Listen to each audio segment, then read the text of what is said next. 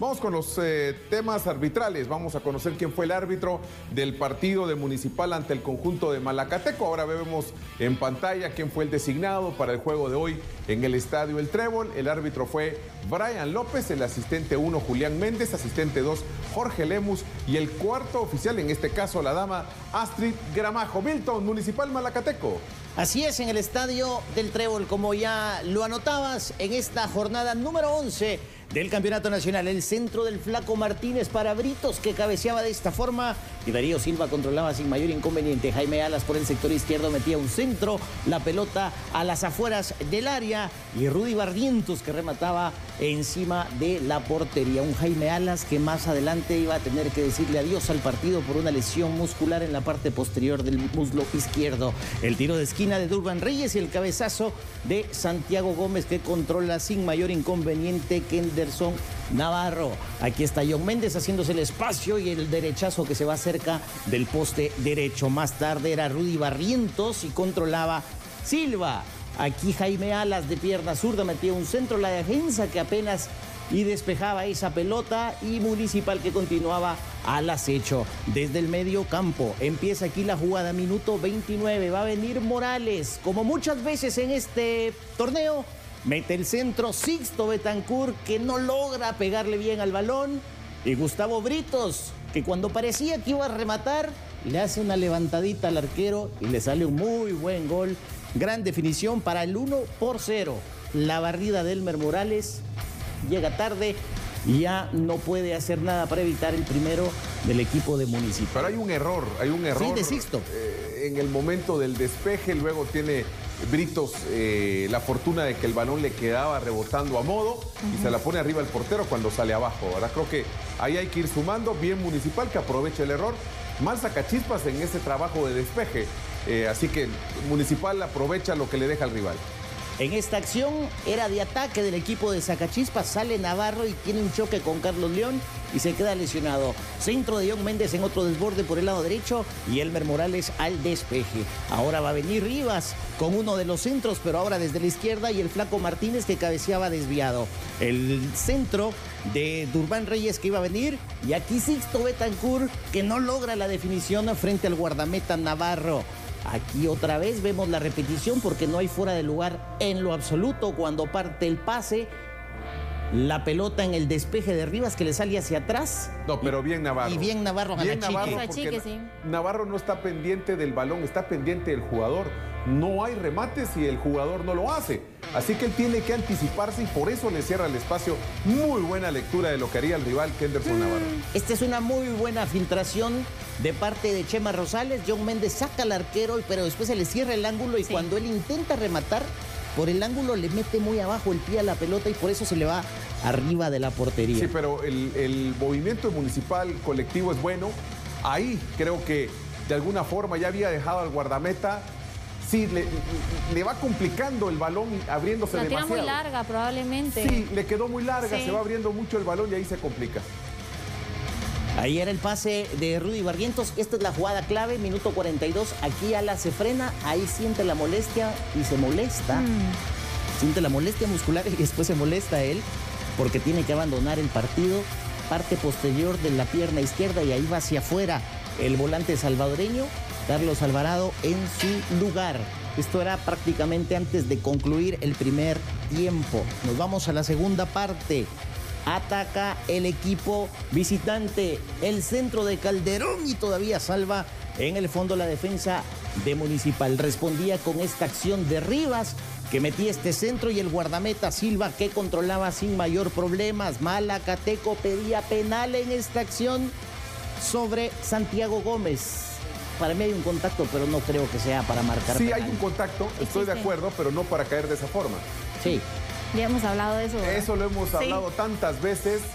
Sí, un, toque por ese sector te puede complicar, puede ser para interpretar de distintas formas.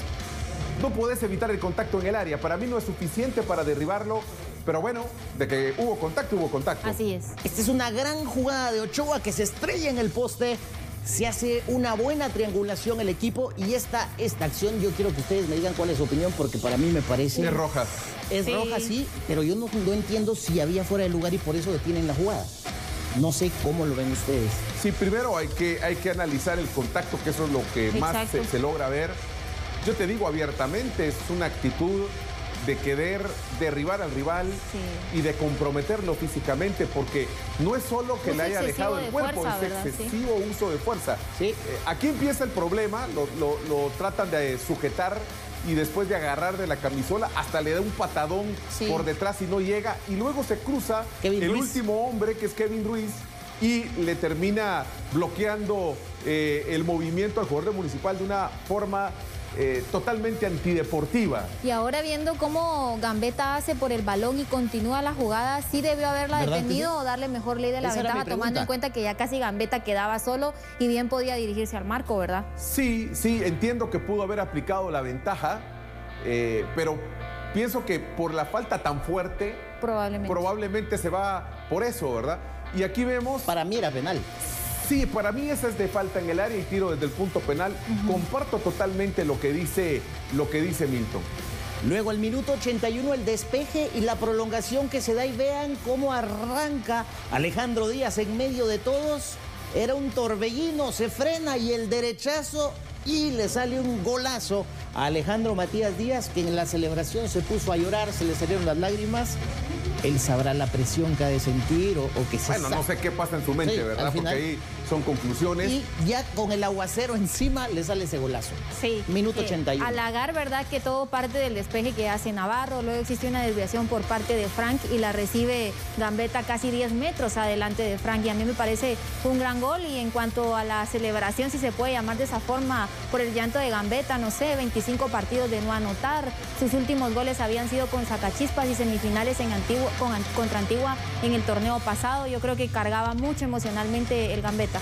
Y este es un golazo, es una triangulación en el minuto 89, precisamente entre Díaz y Frank de León, pero ya un entregado equipo de Malacateco que iba totalmente hacia arriba, que dejaba espacios y que obviamente Municipal a base de velocidad lo supo aprovechar y así marcó el tercer tanto en este partido. Como bien apuntaba Sandy, nueve goles en tres partidos, tres victorias del equipo Escarlata en las últimas tres jornadas. Bueno, yo diría que lo de hoy Municipal hace valer su condición de local, que es su obligación hacerlo.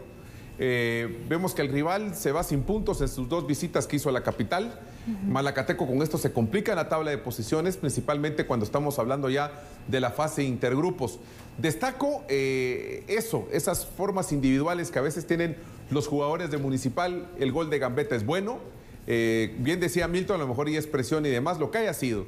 Lo que vamos es al gol de Gambetta, que es lo que sí vemos, lo que sí sabemos, y es una muy buena jugada, la verdad la manera en que aguanta el balón, en que conduce y define de muy buena forma. Lamentable lo ocurrido con Jaime Alas, ¿verdad? La lesión de Jaime Alas, porque compromete un municipal, no sabemos cuánto tiempo eh, esa lesión le complica, ojalá y no sea mucho, porque si le complica un tiempo importante, con lo que el torneo nos ha demostrado de ser apretado en este mes de abril, de jugar miércoles, fin de semana miércoles, no es una semana normal la que se perdería un jugador de esa categoría.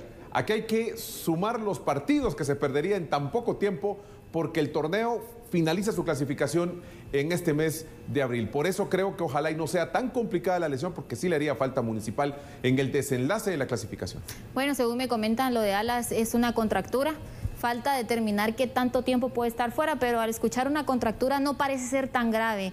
Probablemente descanse el fin de semana si así lo decide el cuerpo médico de municipal, pero no creo que vaya a ser algo como para extrañar en tantas jornadas a Alas. Eh, luego, pero bueno, ya se pierde una jornada, Sandy. Sí, pero eso es una conclusión mía, todavía no es nada. Y fíjese que si solo se pierde una, estamos hablando que ya se jugaría la fecha 12, quedarían cuatro jornadas nada más de la clasificación.